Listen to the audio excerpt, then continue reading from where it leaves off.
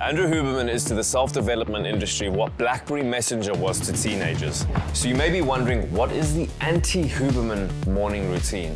But before we get into that, who is Andrew Huberman? I'm Andrew Huberman, and I'm a professor of neurobiology and ophthalmology at Stanford School of Medicine. And he has become quite popular over the last two years or so, specifically with his routines. One in particular being his morning routine, which consists of waking up at 6.30, walking outside in the sunlight, drinking salt water, not looking at your phone, working for 90 minutes, drinking coffee, exercising, having a cold shower or a cold plunge, and then eating at 11 a.m. Now the goal of this morning routine is to make you more energetic, productive, and focused. Remember these because they're going to be important later on. Before we get into the anti-Huberman morning routine and why do it, we need to know a little bit about Charlie Munger. Rest in peace. An incredible thought leader who had a framework which he called inverted thinking, where it states, if you want to achieve something, think about what you would have to do to absolutely not achieve that thing giving you the roadmap to failure. And by giving you the roadmap to failure, it paints a clearer picture of the roadmap to success. You may be thinking, why did I bring up Charlie Munger and the inversion thinking principle? I'll go over that in the next minute. I already made a video where I did the Huberman morning routine. Now I will try the anti-Huberman morning routine.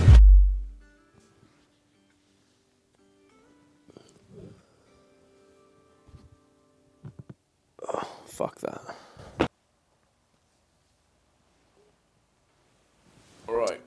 So Huberman morning routine states that you get up at 6.30 in the morning.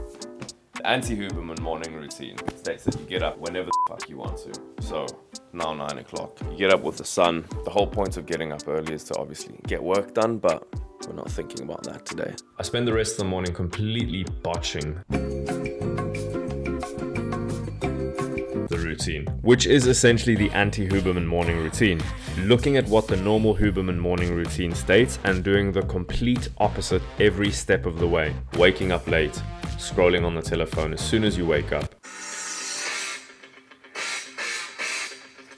Drinking coffee right after you wake up, eating right after you wake up, having a warm shower, and not going outside until about midday. So I'm going outside for the first time now, it's 2 p.m.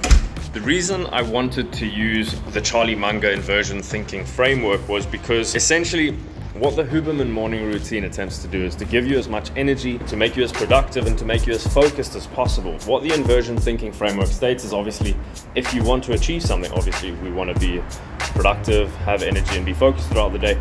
Flip that on its head, and therefore you get the anti Huberman morning routine, which is essentially doing the opposite of the Huberman morning routine. I've already done the Huberman morning routine, so check that out in the description below. And the reason I wanted to do this was just to find out how different I'd actually feel if I didn't do that, right? One would think that if you do absolutely everything wrong, then you probably wouldn't feel that good. But that's exactly what I want to find out in this video. Flip everything on its head and see how I feel at the end of the day.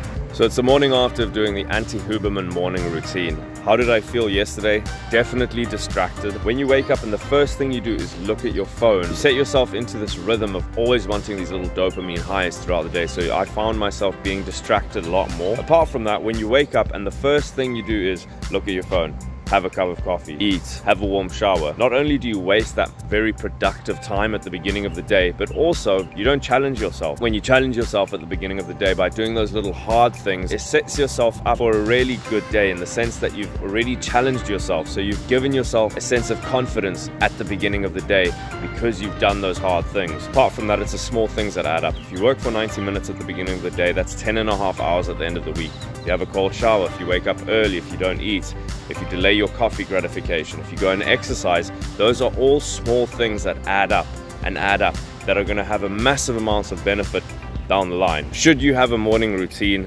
and should it be this specific morning routine? No, I don't think it has to be this specific morning routine. I think this is more of a rough framework and you just need to find the one that works for you. That's the most important thing. That's the thing that I've come to realize. Apart from that, if you're a guy, if you're in your 20s, if you're in your 30s, if you're in your 40s, you're probably wanting to increase your level of testosterone. That's why I created a free PDF below the video. You can go and sign up in the description, completely free. And I will see you in the next video. Peace.